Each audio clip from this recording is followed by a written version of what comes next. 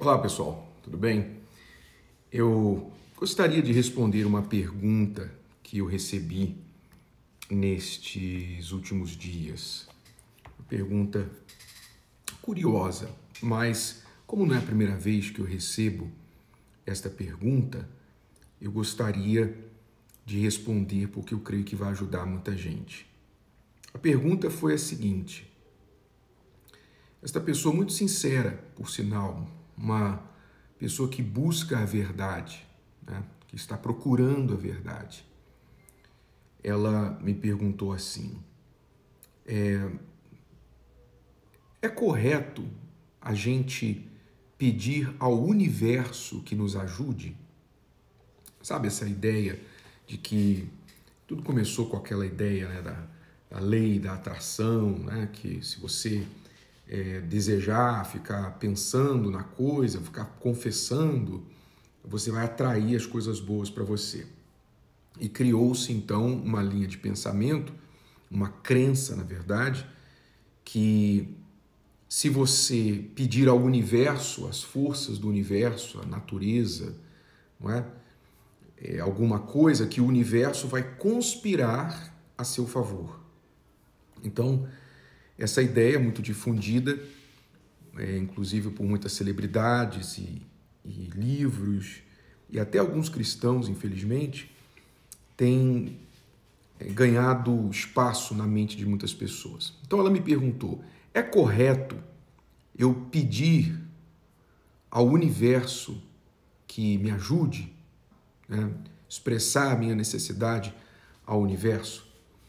E eu respondi para ela com uma outra pergunta. Eu disse para ela: o universo é criação ou é criador? O universo nos criou ou foi criado? Então ela, parando um pouquinho para pensar, ela pensou: não, o universo foi criado por Deus os planetas, a Terra, a, tudo que, que existe, nós cremos, conforme diz a palavra de Deus, que tudo foi criado por Ele. Então, eu fiz uma segunda pergunta para ela. Então, você não acha que seria mais sábio, mais inteligente orar e pedir ao Criador em vez de pedir à criatura? E ela entendeu então a resposta. Ora, isso é muito importante a gente entender. É muito importante, por isso nós falamos tanto da fé inteligente.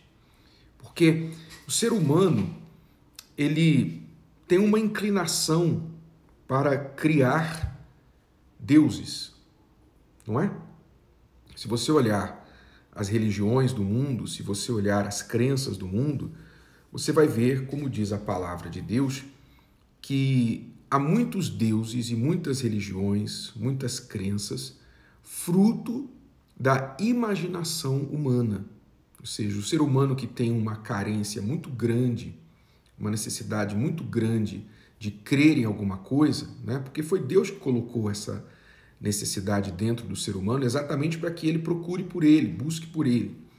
Mas como o ser humano não quer buscar a Deus, então ele começa a buscar alternativas, criar crenças alternativas.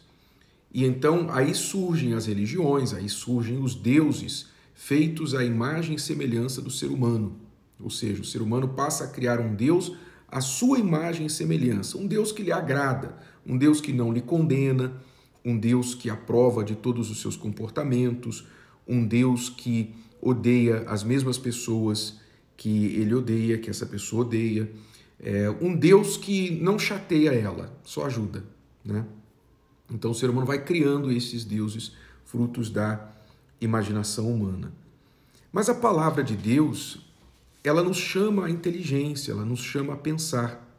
Se você ler, por exemplo, lá é, Salmo 115, se você ler na sua Bíblia o Salmo 115, depois o, o, em Isaías 44, você lê é, são, são duas passagens assim é, fortíssimas que nos convidam ao raciocínio, nos convidam a pensar.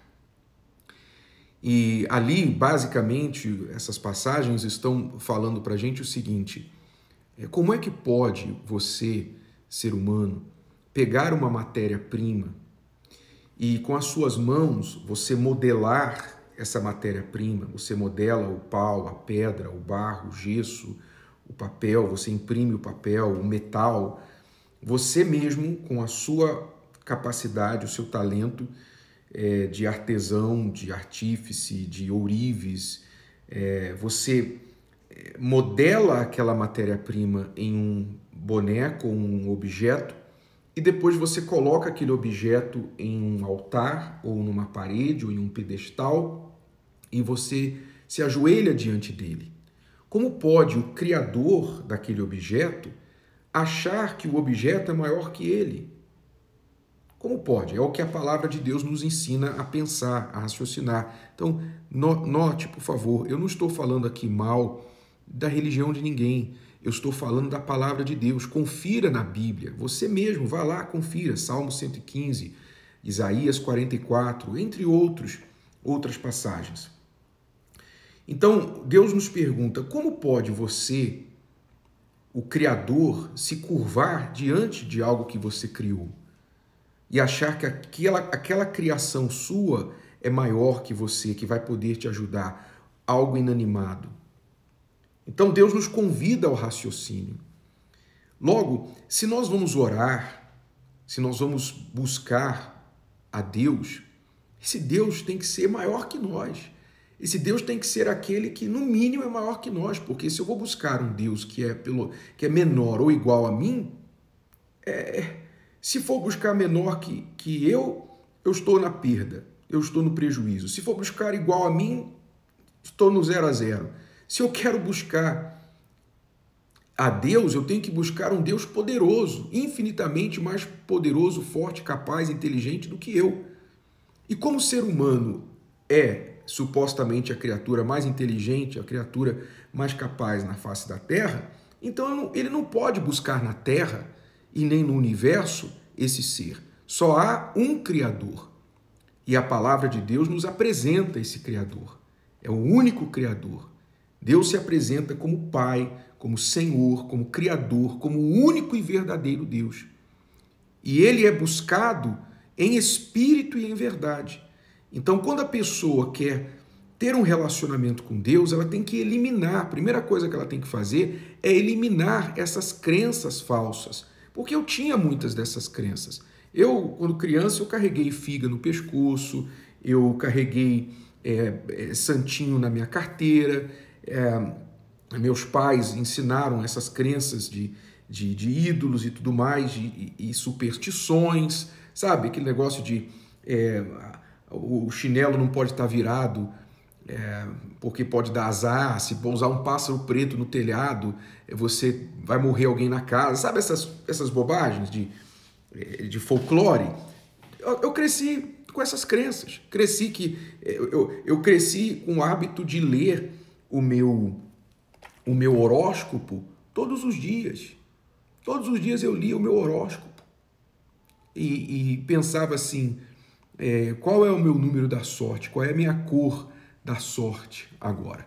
Então, tudo isso tem que ser jogado fora, tudo isso tem que ser é, é, despedido como fruto da imaginação humana.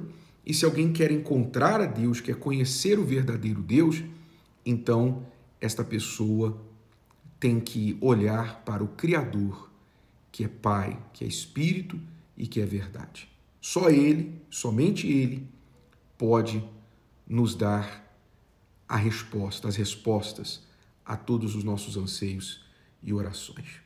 Tá bom? Então, nós queremos deixar essa resposta aqui para você e aproveitar e convidar você para estar conosco neste domingo. Se você quiser buscar o Deus vivo, o Deus da Bíblia, o Deus que é Espírito, nós convidamos você para estar com a gente neste domingo aqui no Templo de Salomão, às nove e meia da manhã, ou em uma universal. Tá bom? Deus abençoe e até a próxima.